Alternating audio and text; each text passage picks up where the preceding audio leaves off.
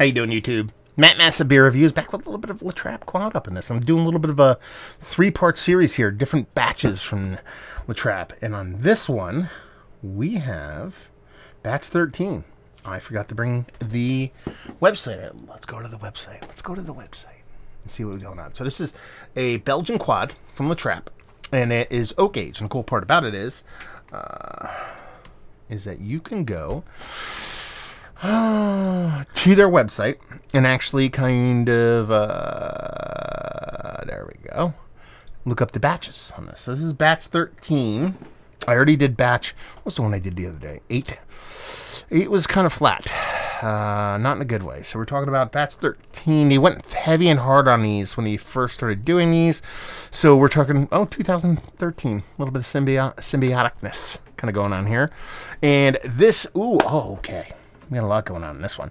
Um, this is a split of barrels. So it's 91% Pinot Noir, a Spätburgunder Pinot Noir barrels, uh, then 4.5% high toast barrels, and 4.5% medium toast Akai bar- barrels. Uh, it says here the first drink clearly tastes of soft red wine, followed by wood tannins and smoke that slowly accumulate in the light sweetness of honey as the beer warms up. Huh. There's honey in this? Maybe you just taste honey, I guess. The cage is breaking off. That always bodes well. Um, oak becomes more prominent. Beer becomes more tannic. Okay. You gotta love it when the cage actually just breaks off completely. Now, how am I gonna get this open? This is why you guys pay me the big bucks so you can watch me struggle with shit like this. I can get this open, I just don't want to cut myself. or break the bottle. Let's see if we can just get that cage up and over because there's a little bit of slack on it now. I might be able to. God damn it. Where are my tin snips when I need them? Have a shotgun chill. Might be able to open it with that. Plain old scissors. Let's see if they'll cut this this tin. This tin stuff usually isn't too. There we go. Um, so yeah, let's see how this sucker rolls. Now, I talked about this in a previous review. I won't talk about it much, but it has a synthetic cork. These corks are red hot nightmares. They're almost impossible to get off. Come on, you son of a bitch. So now this is the second portion of the show where you guys laugh. Oh my god, I should have brought a wine key. I said that in the first one too. These are gonna be these are gonna be everybody's favorite reviews. Just watch me struggle. And I actually have a theory that these there we go that these uh, synthetic quirks actually aren't the best. They almost feel like they should have a better seal on them, but I think there's something bad about them. Because it almost seems like I rarely get a really good aged bottle with this synthetic cork in it. So let's see. We're gonna know on the hiss and the pop. Actually, yeah, this one's gonna be poopy too. God damn it, Shangy's, why you selling poopy old beer, man? I'm putting it on you guys. You guys have to.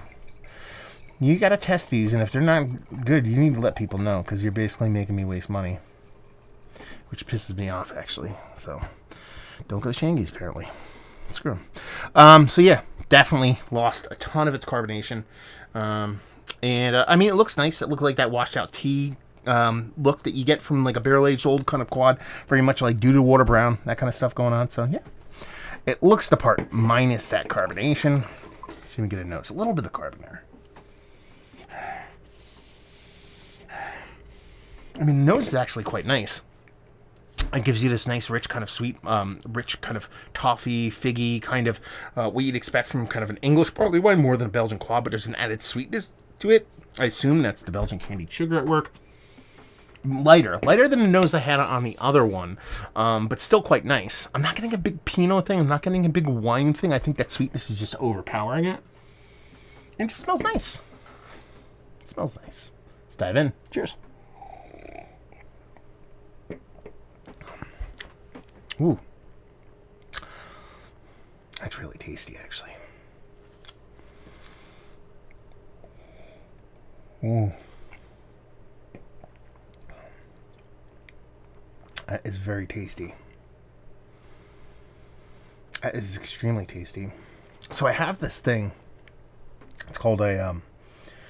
What's it called? Trail keg. It's one of those CO2 kegs. I kind of want to throw this in there and just recarb it because I could reforce carbon there. I think it takes a little bit of time, so I'm not going to do that. But man, this is actually really tasty. It's giving you this nice, beautiful barley wine kind of thing going on. Very much reminiscent of like a Hardy's kind of vibe when it comes to an aged barley wine. You get this soft little tartness to it. It's nowhere close to even being sour, but there's this little bit of tartness that I can get from them. Kind of.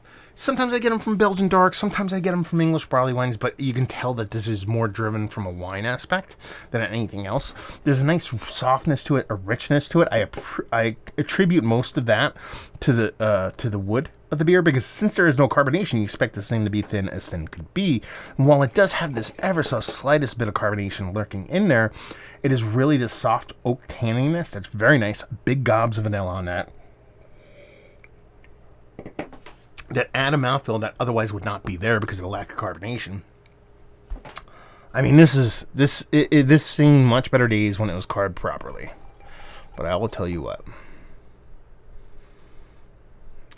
I'm liking this. I am. As as an old beer person, that's okay. Rolling a dice on on old beer, I have no problems with that. The only problems would be with Shangy's because they had shelves and shelves of old beer. You know, buyer beware when it comes to beer. You can say that, but they know these aren't worth it. Um, that's why they're they're pricing them and blowing them out the way they are. They should just be like, hey, just you know, these aren't whatever. Maybe I should know because the price was cheaper still, anyway. But in the state that this particular batch is in, with this lack of carbonation, I actually really do enjoy it. I would have loved to try. Actually, I should say, shouldn't say that. I might have reviewed Bats 13 for all I know, but I could imagine how good this beer was when I actually had a carb on it. And I'm going to tell you what, man, I really do believe the curse of these beers are the synthetic cork. I think the synthetic corks on these just aren't a good. You would think synthetic. You think it would act as a better seal for that carbonation. My guess is, and I know this is above my pay grade, I'm guessing these are permeable. And by that, for those that don't know, it, um, permeable means gas can escape through it. Um, you know, cork really doesn't do that. While the edges might not seal as perfect as something synthetic, at least it's not permeable. Relatively permeable. I think corks are permeable to a certain extent, but it's negligible how much oxygen can push through it or, or gases. I'm, I bet you gas can get through this thing because I don't understand how this could not be a good seal. It's a nightmare to get out, so obviously it's got really good contact. They're long AF, so I bet you these are permeable to some certain extent. Yeah. Which might not be maybe escape permeable pressure permeable. Like I don't think that would be an issue for um, wine because wine I don't think would suffer from that, right? Yeah, maybe that's the case here. Because it's not really, I didn't talk about any kind of oxidation. I'm not getting a ton of oxidation on this beer. To be honest with you, the taste is there just lacks carb. So either these beers were poopily carb, which I highly doubt. I mean, La Trappe knows what they're doing. I have theories that these are permeable. Basically, what happened was it, it, all the carbonation escaped, but it didn't let, because of the pressure, it didn't let negative oxygen back in. That's my, that's my massive conspiracy review theory right there for you. But anyway, um, back to the beer. Um, in its state right now, it's it's it, it's hard to give this like a stellar, glowing kind of um, kind of love fest score on this thing because we score everything, don't we? Um, last time I probably did one of these. I probably did. Um, but I like this. I have no qualms paying the eleven dollars and fifty cents I paid for this beer. The other one I did. Um, this one is just I think just so well balanced flavor wise, and so for the lack of a better term, kind of softly electric. I mean that and that it's it's rich and dynamic, but it's not like to the hilt, two by four to the face. Um, that I enjoy when I'm drinking right now. Probably one of the better batches I've had, carb or otherwise, at least flavor profile wise. If you were to give this to me with some kind of carbonation, I think I'm going gaga. I really do. Shame, shame, shame, shame. Not in the brewery. They probably didn't know what they're doing. More, more on Shangy's, but shame on me for not getting a carb one. There you go. Is this one of the better English, well, English barley wines? Because I keep, taste like an English barley wine more than anything else. Is this one of the better barrel aged beers? That's where we'll go. That I've had as late. No, it's not no, it's not yes. We're just gonna put NA, uh, not applicable, just because of you know the carbonation. If the carbonation is there, I think it's up there. If not Mount Rushmore status, value and availability, like I said, eleven dollars fifty cents. I would not say these are worth picking up from Shangy's or any of the aged beer Shangy's at this point because it seems like every aged thing I've pulled out of there sans a three year old Stille Nacht, which if that wasn't can't hold up or not even three years, year and a half old Stille Nacht, if that's not going to hold up, that's just weird. Um, but everything else is kind of poopy, so yeah, take that for what it's worth and leave you with if you like what we like this beer. If you like, um, if you like flavor over mouthfeel. I mean, this is really is giving you a rich depth of flavor, so it's more a flavorful thing than a, a, textural thing. So if you really kind of lean heavily into, even though you know carbonation does deliver a lot more flavor and things like that, we, that's a whole nother story. For the eleven bucks and change, if you were there and be like, I just want to try this because Matt tried it or whatever, I just do third person.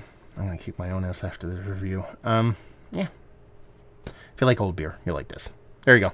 Review in the books. Let me know if you've had this down there if you want to talk about it. Massive beers if you want to check me out doing the social media stuff. Beer Massif. That's right, podcasting stuff. Hopefully you guys enjoyed our review. Hopefully enjoying a little La Trappe right now. We'll see you next time. Cheers.